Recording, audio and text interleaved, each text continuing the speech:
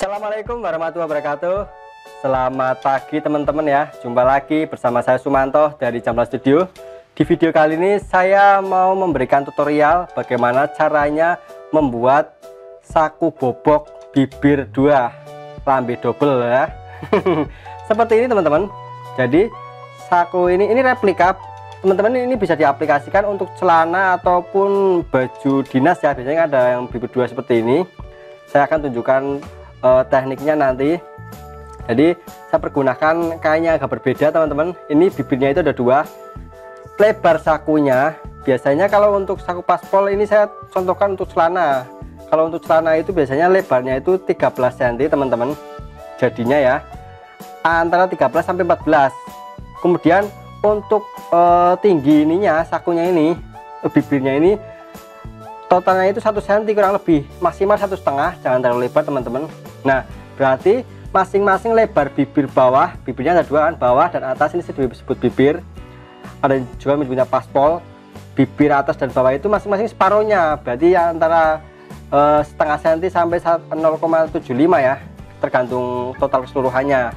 Nanti saya akan tunjukkan caranya. Nah ini sisi bagian dalamnya teman-teman seperti ini. Jadi ini ada puringnya. Oke sebenarnya nih kalau untuk baju ini dipotong nggak langsung sini kalau ini untuk celana ya biasanya seperti ini tekniknya. Soalnya ini di bagian celana ini bagian pinggang teman-teman. Di sini ya ini kan nyatu dengan atasnya nanti pasang ban di sini. Bagaimana cara membuatnya? Langsung saja saya tunjukkan caranya teman jadi yang perlu teman-teman persiapkan di sini adalah kita perlukan kain keras teman-teman seperti ini. Jadi ini saya pergunakan superjet nggak usah yang ada lemnya teman-teman. Jangan yang ada lemnya. Dia tebel uh, sediakan kurang lebih uh, sebenarnya kita hanya butuh satu setengah senti tapi saya potong 3 senti nanti dipotong-potong ya. Nanti saya jelaskan cara motongnya. Uh, untuk panjangnya teman-teman bisa sediakan untuk kain kerasnya 17 atau 20 cm nggak apa-apa. Yang penting lebih lebar dari sakunya. Nanti kan cuma butuhnya itu 13 cm ya ada dua. Nanti untuk ini untuk bibir atas dan bawah penggunaannya. Kemudian beset ya. Ini saya pergunakan kain yang berbeda teman-teman. Sebenarnya kalau untuk aslinya ya sama ini hanya untuk memudahkan nantinya. Ini nanti untuk bibir jadi nanti fungsinya untuk bibir atas dan bawah. Teman-teman silahkan potong panjangnya kurang lebih ya eh, ini 18 cm adanya ya. Boleh biar gampang 20 takutnya kadang-kadang ada eh, kesulitan kalau terlalu kecil. Kemudian lebarnya kurang lebih 5 cm ini saya ada 6 cm ya nggak apa-apa. Bikin dua teman-teman. Sepasang. Beset. Beset itu untuk lapisan nantinya ya. Sediakan lebar eh, standarnya ya kemudian sesuai lebar kantong yang kita butuhkan kemudian tingginya agak lebih lebar dari bibir yang ini nantinya ya untuk bibir ini uh, dibutuhkan 10 cm minimal teman-teman supaya lebih mudah nanti jahitnya Oke, kemudian puring. Puringnya itu sediakan dengan lebar kurang lebih antara 18 sampai 20. Ini saya ada 21, nanti akan dipotong lagi. Kemudian panjang, ini kan panjang nih. Panjang. Ya, kalau ini panjang saya lipat seperti ini aja, ini bagian bawah. Uh, sediakan kurang lebih 50 cm, ini kan ada 25. Kalau di jadi dua kan 50 cm ya. Nah, seperti ini. Lebarnya sama tadi ya kemudian jangan lupa ya kain utamanya ya kain utamanya sesuaikan oke kita mulai proses penjahitannya teman-teman pertama yang akan dijahit itu bagian kain kerasnya. Ambil beset. Ini untuk bibirnya maksud saya ini bibirnya yang ini eh, bagian pinggir-pinggirnya salah satunya di obras teman-teman. Bagiannya beset juga sama saya sudah obras. Salah satu sisinya saja. Kemudian kita akan tempelkan di bagian ini ya. Ini kain dalam. Dalam ya kalau ini sisi luar. Yang ini sisi luar nah ditempelkan di sisi dalam kain di bagian pinggir yang enggak ada operasinya teman-teman. Ini hanya untuk menempelkan. Kita akan buat sebenarnya ini jahitan jelujur. Kita jahit saja mepet. Kurang lebih 2 mili saja ya dari ini. Ini hanya untuk menyatukan saja antara kain keras perjat ini dengan uh, ininya. Nanti untuk aplikasi bibirnya ini. Kedua-duanya kita jahit sama teman-teman ini hanya untuk menempelkan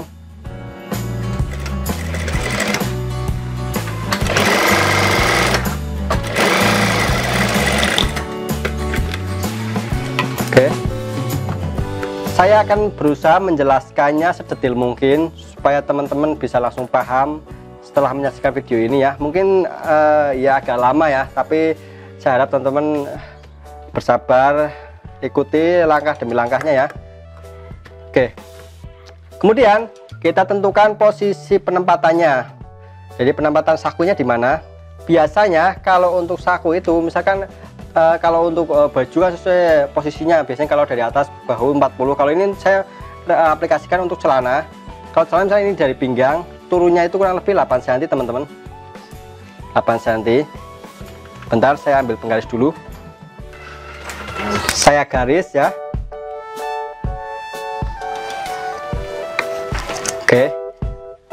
kemudian kita atur posisinya misalkan di sini. Saya akan buat 13 cm. Oke nanti kira-kira akan di sini. Jadi ini lebarnya antara garis ini satu cm. Nanti untuk bibirnya saya usahakan satu cm. Kita ambil salah satu yang ada garis kerasnya. Kemudian kita garis sebenarnya cara jahitnya bisa ditimpa seperti ini langsung tapi agak susah kalau buat pemula. Jadi saran saya ini digaris juga. Kita buat lebarnya itu di sini satu cm ya. Saya akan garis.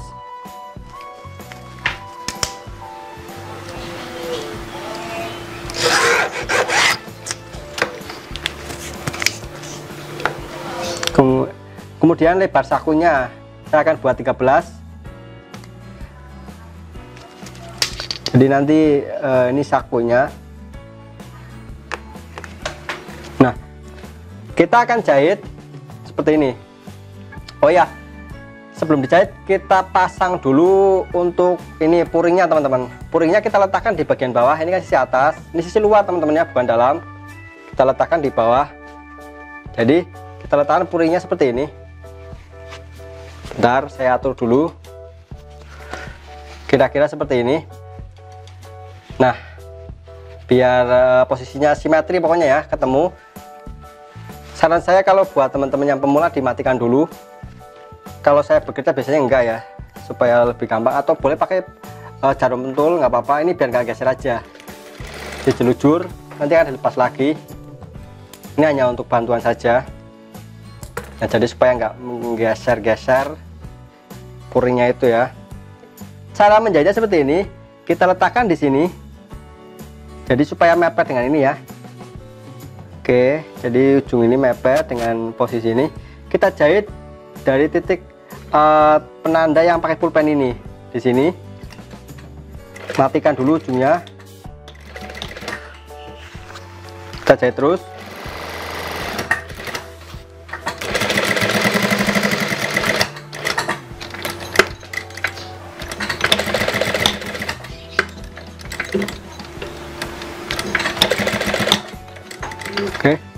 jahitnya supaya tepat teman-teman ya. Jatuhnya ujung-ujungnya.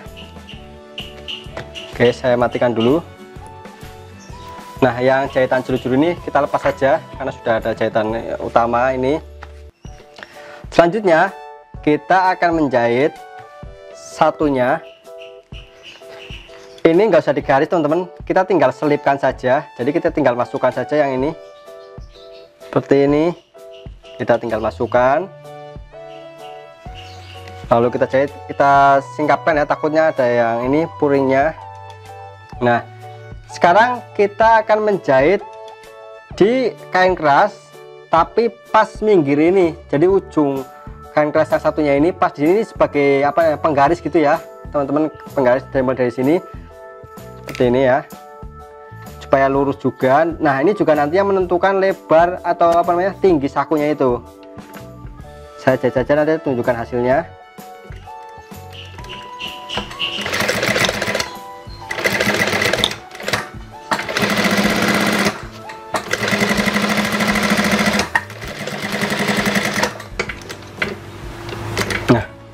diancaknya juga eh, pelan-pelan uh, maju kira-kira uh, biar kotak gitu di sini ya pas.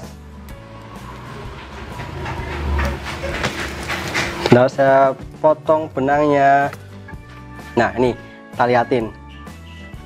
Seperti ini ya jadi eh, masing-masing uh, ini satu senti lebarnya. Soalnya ini kan nimpa seperti ini. Nah kalau dilihat dari dalam dari sisi ini yang paling penting itu jadi antara ujung ini ujung ini dan ini sejajar teman-teman ya. Jangan nedeng. Nanti bentuknya itu nggak kotak kalau ini nggak sejajar. Dimengerti teman-teman? Kalau misalkan nanti kelewat 13 lebih nggak apa-apa. Yang penting itu usahakan sejajar ininya ya. Oke. Dan jahitannya juga usahakan lurus. Ini kan sama ya jangan uh, lebar sebelah nantinya. Nah setelah dijahit seperti ini langkah selanjutnya akan saya bobok bobok itu ya ya dibobok karena ini kan saku bobok ya. Dibenjeng seperti ini. Kita akan bobok dua lapisan kain utama yang ini dengan sekaligus puringnya. Ini dilipat seperti ini cara boboknya. Kemudian saya cekrik pakai gunting. Oke. Kemudian kita akan potong sana terus. Saya akan tunjukkan dari sisi bawah teman-teman biar lebih mudah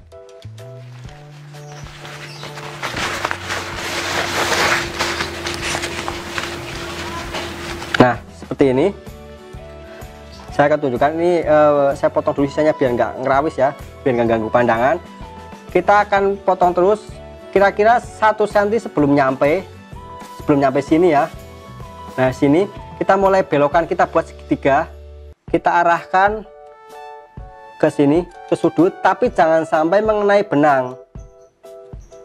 Oke satunya juga sama diarahkan ke sudut tapi jangan sampai mengenai benang. Oke kurang sedikit nggak apa-apa nanti bisa diakali. Jadi jangan sampai melewati ya. Kalau kalau lewat nanti jebol. Sisi satunya juga sama. Saya akan coba silahkan teman-teman perhatikan. Karena ini bagian terpenting dalam membuat saku bobok. Saku bobok apa pun ya. Kalau nyekriknya salah ya udah hancur nanti hasilnya. Nggak bisa dibenerin ya kalau ini ya. Ingat satu cm pokoknya kurang nggak apa-apa. Yang penting ini buat segitiga yang paling penting ini kita buat ke sudut. Jangan sampai mengenai benang ujungnya.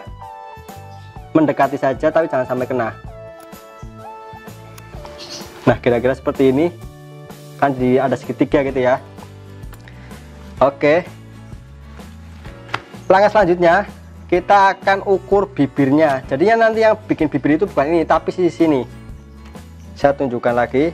Kita akan garis. Uh, saya buat ini setengah senti. Soalnya ini kan uh, kalau ini saya meterannya agak nih. Saya sebenarnya ada satu senti lebih teman-teman. Antara garis satu dengan ini ya ada lebih.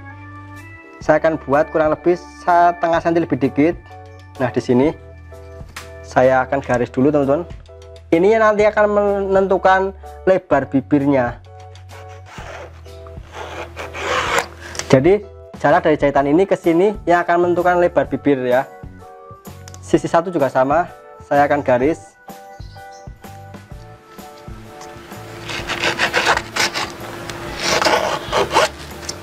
Oke. Kemudian saya akan potong. Potong kain kasnya saja teman-teman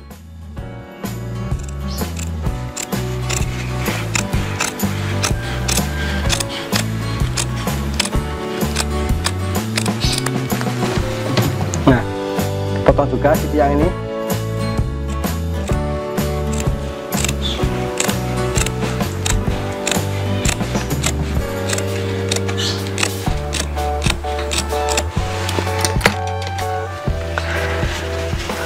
Pertama yang perlu teman-teman perhatikan dalam eh, apa memotong ini saya ulangi lagi lebar ini adalah setengah dari jarak ini ya dari jarak ini. Jadi lebar bibirnya itu setengahnya dari jarak ini.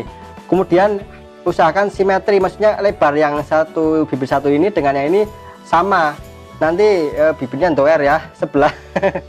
Nggak sama ya pokoknya biar sama. Oke. Kita akan balik teman-teman. Seperti ini. Kita lipat seperti ini. Nah ini nanti akan jadi bibirnya teman-teman. Kalau dilihat dari sisi luar nanti seperti ini. Kita masukkan bentar kita juga lipat ke dalam.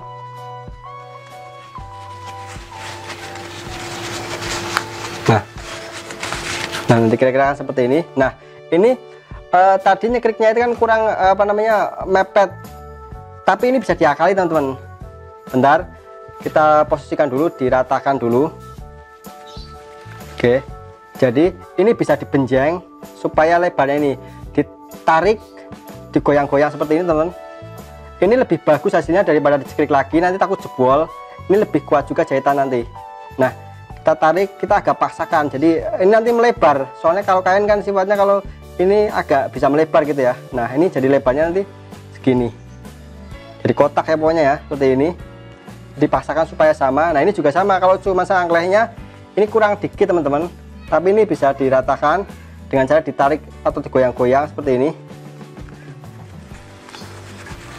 nah ini nanti bisa sama. Ini malah lebih bagus hasilnya ya kotak gitu ya. Dimengerti teman-teman? Langkah selanjutnya kita akan rapikan jahitannya terlebih dahulu. Ini bagian bibirnya tadi. Ini bagian bawah. Kita akan lipat seperti ini. Kemudian kita stick ini di ini ya. Nah seperti ini. Kita jahit. Kita timpa saja jahitan yang ini. Seperti ini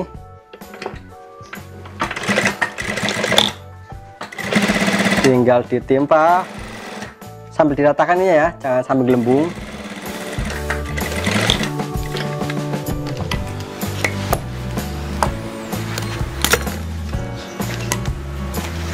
Jadi di, ini pas ditarik ininya supaya ininya ngeplek gitu ya rata bagus.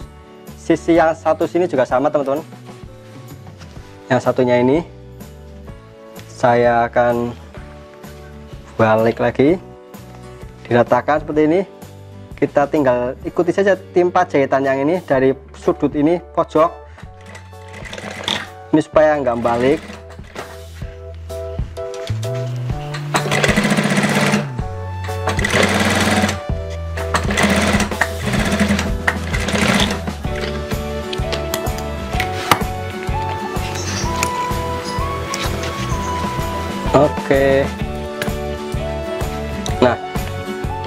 terkadang eh, karena bibirnya terlalu lebar, teman-teman motongnya ya, udah di apa namanya udah diusak-usak seperti ini, tapi tetap eh, enggak eh, ini ya, ya mau nggak mau teman-teman harus kecilkan lagi.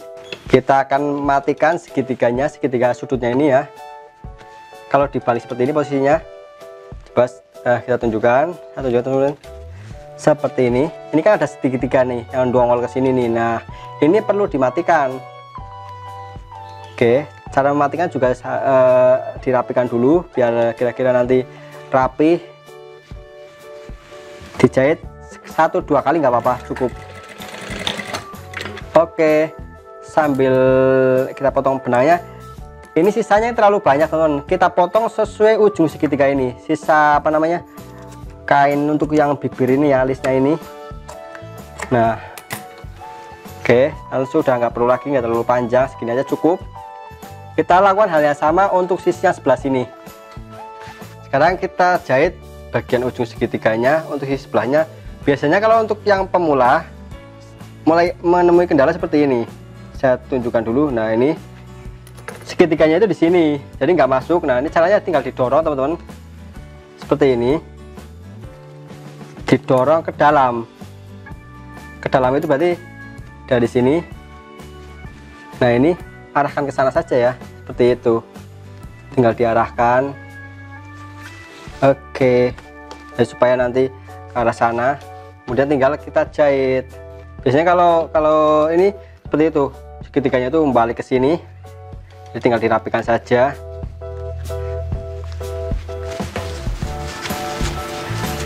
Oke, saya akan matikan teman-teman. Dijahit satu atau dua jahitan supaya nggak balik saja ya.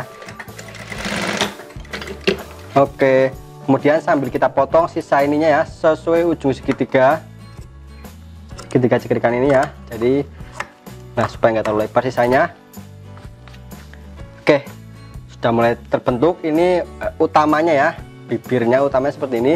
Tinggal kita rapikan dengan memasang beset dan lain-lainnya ini kalau saku seperti ini ini bagian bawah. Yang ini kita jahit dulu teman-teman. Yang ini nggak usah nggak apa-apa. Jadi ini disatukan dengan puring. Jangan ditembuskan ke kain utama ya. Jadi kita singkapkan kain yang utamanya kita ambil uh, ini ya beset yang ini dengan puringnya. Kita jahit bagian obras. Pas di bagian obras ini.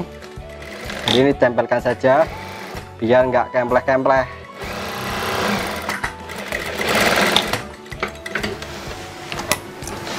lalu kita akan ukur panjangnya. E, maksudnya kedalaman saku biasanya kalau untuk saku itu dalamnya itu 18 cm teman-teman itu udah panjang. Minimal 16 cm jadi dari titik bibir ini teman-teman ke bawah kalau saku nanti di sini posisinya jadi ujungnya di sini tapi kan kita lipat ini ya. Jadi kita butuhkan 36 di sini ya. Nanti kira-kira posisi ini akan ditemukan dengan ini dimengerti. Tapi bagian ini kita harus tutupkan dengan uh, besar teman-teman. Biasanya kalau puring kan warnanya eh, kainnya tipis ya. Nah ini harus ditutup dengan besar atau kain utamanya. Oke. Kita jahit. Tadi posisi penandaannya itu diusahakan di tengah-tengah ini ya. Nah di sini nanti ini akan oh, untuk posisi saku nantinya ya. Posisi 38 tadi ini 36 tadi ini ya posisinya. Nah ini obrasannya di bagiannya sini jangan yang ujung sini ya. Kita jahit bagiannya obrasan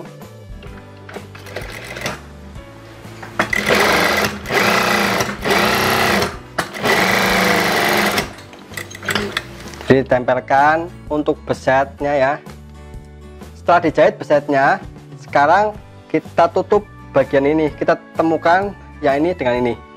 Mulutnya ini ya bibirnya ini nah seperti ini kita balik.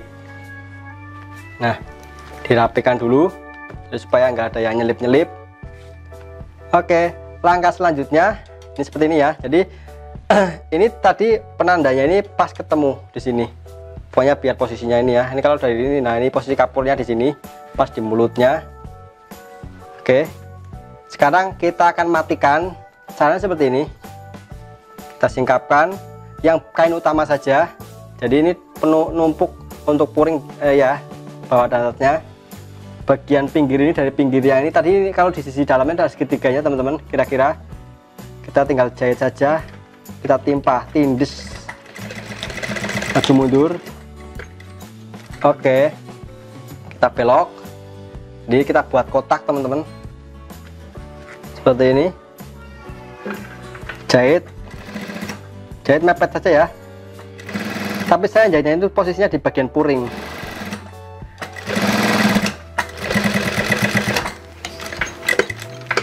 Oke kira-kira pas di ujung sini kita belok lagi. Kita jahit ke bawah.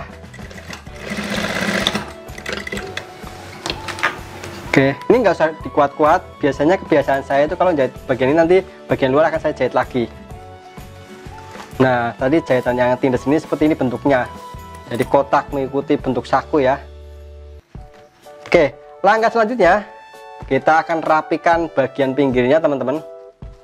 Jadi ini udah mulai hampir kelihatan jadi ya udah jadi. Pokoknya ini tinggal dirapikan pinggirnya. Biasanya kalau teman-teman nggak mau pusing ini bisa dipotong diobras. Tapi saya akan buat yang rapi. Ini jadi jarak ini 1 2 cm teman-teman. Kita akan potong sisakan seperti ini. Jadi dari itu 2 cm saja nanti lipatannya satu senti ya. Biar nggak kebanyakan. Sisi satunya juga sama saya potong teman-teman. Wah ini lebih lebar lagi sisanya.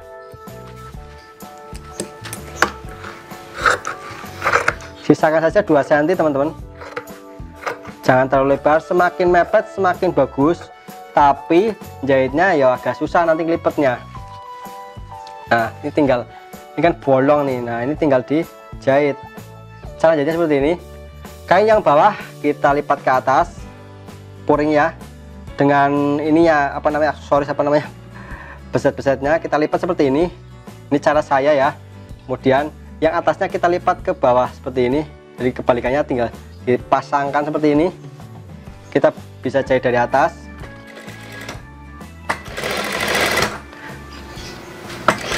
Ini biasanya kalau untuk celana kalau untuk baju ya paling sampai di sini dilipat ya sampai di sini. Terus berhenti.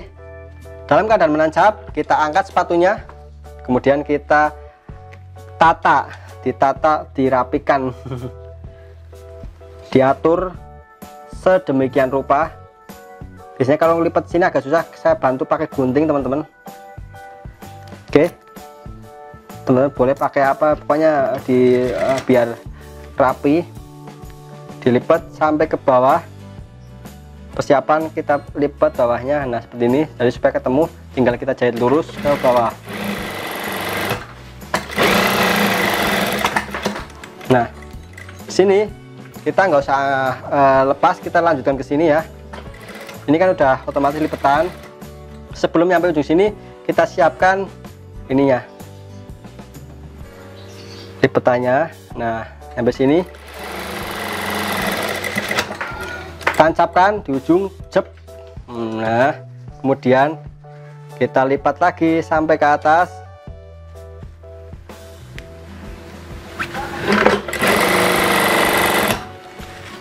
Oke.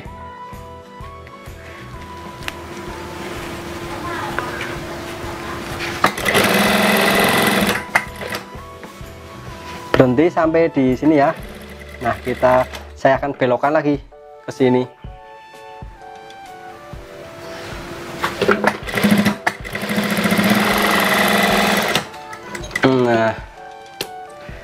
teman-teman pasti nanya itu kenapa mesti dibelokkan ya? Ini ada gunanya teman-teman. Nih saya tunjukkan dari sisi dalam. Jahitan ini kenapa harus dibelokkan ke sini? Biasanya kalau bagian celana itu kalau semakin lebar dia itu rawan ngawet. Kalau ngawet itu bah ketarik-tarik gitu ya. Kalau semakin lebar jadi dia nanti tumpuannya itu sedikit. Jadi di sini uh, yang ini nggak nggak ngaruh gitu ya. Mudah-mudahan teman-teman nggak bingung penjelasan saya tapi coba saja nanti diperhatikan bedanya antara yang lurus dengan yang belok seperti ini tinggal kita matikan teman-teman. Ujungnya diratakan seperti ini. Biar nggak apa namanya gelembung nggak melintir nggak ngeruel diratakan ya. Dimatikan. Seperti ini. Tinggal dipotong sisanya. Oke. Ini langkah terakhir. Boleh teman-teman ikuti boleh enggak tapi kalau kebiasaan saya saya matikan di bagian ujung sini teman-teman oke ini sambil dia saya biasanya kalau ini saya ratakan dulu biar enggak ada yang gelembung.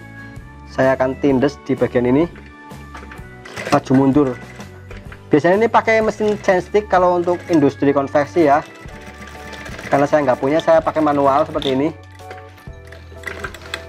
Sisi satunya juga sama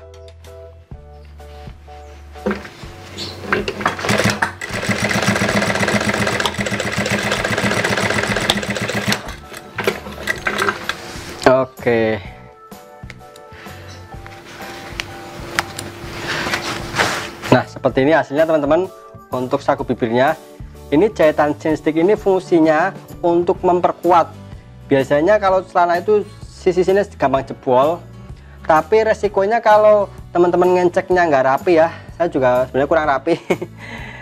uh, nanti dia uh, estetikanya jadi apa berkurang gitu ya, kurang bagus, kurang rapi cuman ini lebih kuat kalau nggak dijahit seperti ini dia gampang jebol ya itu hanya pilihan teman-teman boleh uh, di stick seperti ini atau tidak itu selera saja ya. Karena sebagian penjahit itu sepertinya nggak memperbolehkan tapi sebagian lain malah menyarankan lagi.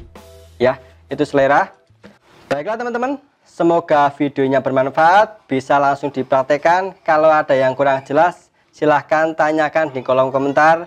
Saya akan bantu jawab sebisanya teman-teman. Saya Sumanto dari Jamla Studio. Selamat pagi, selamat belajar dan berkarya. Assalamualaikum warahmatullahi wabarakatuh.